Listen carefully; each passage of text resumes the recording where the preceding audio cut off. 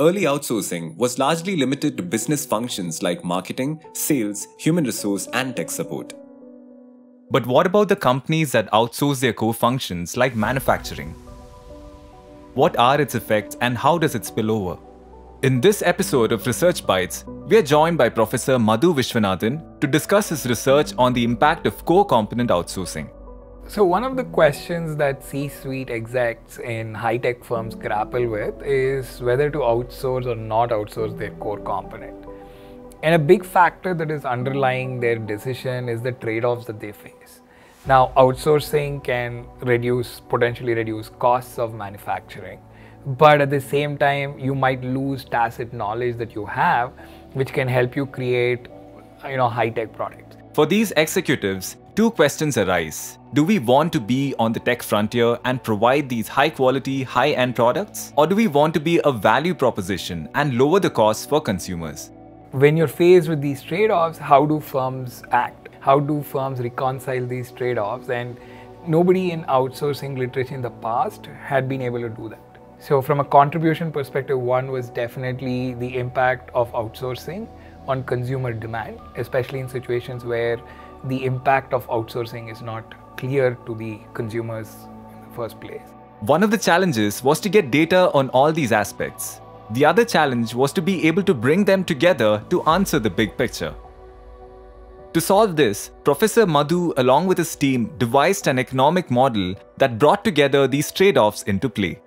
And to build this framework, they looked into the unique data of LCD TV manufacturers. For most of the TVs that were made, we were able to identify, you know, whether they were made in-house or they were procured from somebody else.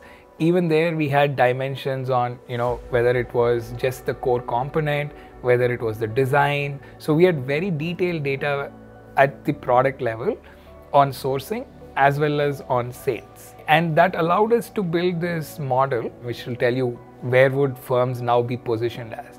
Would they be the cheaper brand? Would they be the tech leaders? And how does it affect demand? And now we in our research try to answer these questions by focusing on three effects that we think are essentially important to driving consumer demand.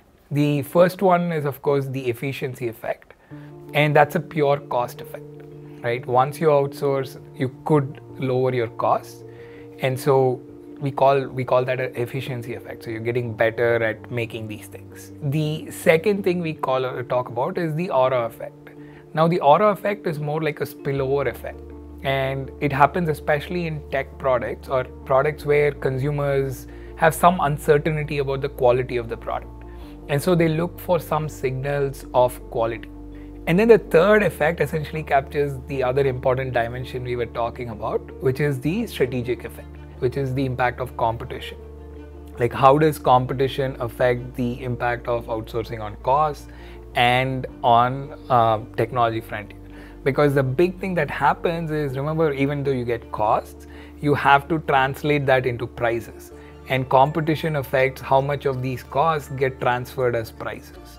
Uh, likewise, on the innovation frontier. And then our results essentially show that just outsourcing for all firms would essentially lead to an increase in quantities sold, decrease in prices, and a drop on the technology frontier.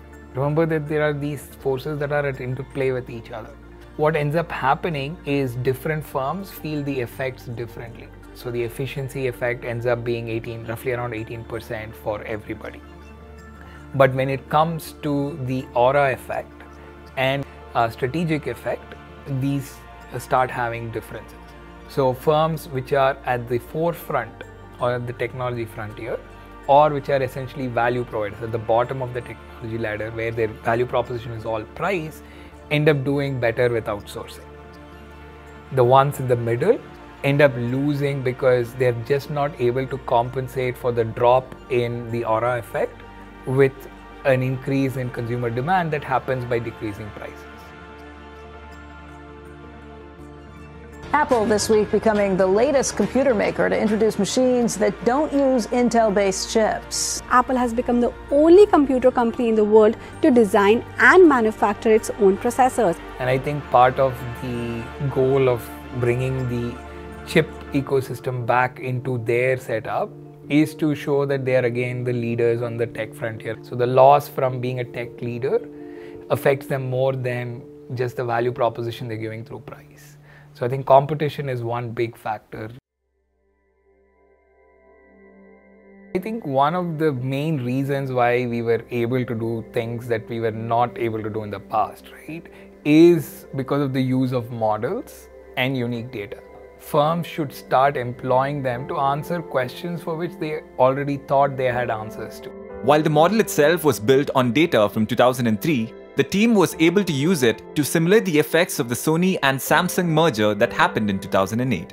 The goal was to see how well their model could predict what would happen beyond the scope of their actual data. And what our model essentially shows is that, uh, you know, it is not going to be a profitable merger. Here is one more reason why you should not have done this in the first place. So, the objective at the end of the day, what we come up with is a toolkit that helps you to combine all these three forces at play and come up with an answer to should you outsource or not given the industry you are. So, while the research paper focused on LCD TVs, these findings can be generalized for a lot of other industries where the impact for consumers from outsourcing is not direct. You can also think in terms of healthcare services. In fact, uh, we have other work which looks at outsourcing of clinical services uh, in the same space and how that could be affected by the outsourcing of uh, these products and how do consumers uh, essentially get impacted.